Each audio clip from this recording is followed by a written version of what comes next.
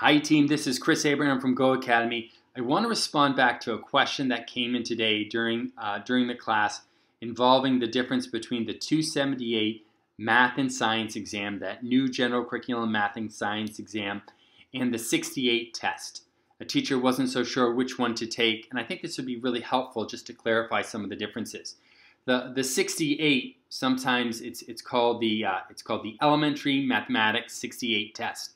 And um, this can be a little confusing because it says elementary, and so you're thinking, hey, it's got to be the easier math. It's not quite the easier math.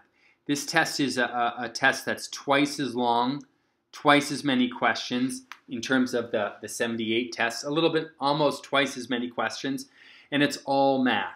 So, so a really good way to, to get a sense of the difference in these exams is to go to the Pearson website, type in elementary mathematics MTEL 68, and get to this practice test and, and just take a look and, and go through some of these problems here. This would be a, for a teacher that loves doing math. And this exam is all math. And so if that's you, if you want to take on an exam all about math, then this is a this is a really good starting point. You you get to do an exam that's all about math here. Okay, a lot of math going on here. And this is an exam that has two essay questions, two math essay questions, as opposed to one.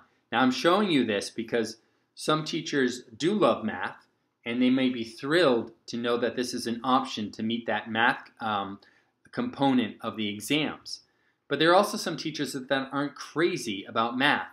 And so that's that tends to be where teachers have taken the general curriculum exams. Now this the new one, the 278, I know it's new, and I know that anything that's new is terribly frightening and scary. But this is an exam that instead of having maybe 100 multiple choice questions, it only has uh, 60. And the breakdown of 60 is 32 of the 60 are math and 28 are science. So this would be a test that uh, would be for the teacher that uh, does um, that's not crazy about math, only because you, you, you don't have nearly as many math questions. You only have 32 math questions as opposed to 100. And, and there, the total amount of questions is almost half. This is has about 60 multiple choice questions combined between the math and science. And, and this one here has about 100 math questions. So that's almost, you, you have half as many questions. Now, team, I, I don't want to sell this exam because I know it's going to be very hard. Usually the first six months that these exams are out, they're very hard because they're so new. And there's there's no way you're going to be able to get around that. You're going to be you're going to be taking a new test.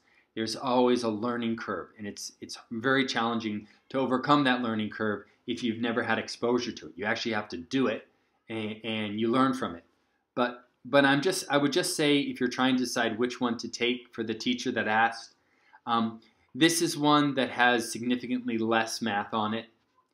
It has 32 math concept, 32 questions on it, uh, and, and the science. And although you're going to be adding on the science, and that's going to be challenging, there's going to be a lot of content here. This would be for the teacher that, you know, um, isn't, isn't crazy for math. Only do this exam here, the 68, if you're crazy for math meaning you love math and you want to do twice as much math because you can't get enough of it and you love it. And, and there are honestly a lot of teachers out there that, that would prefer to do this, but you have to understand you're going to have to do twice as much math, twice as fast, okay? And the math questions are probably going to be more in depth.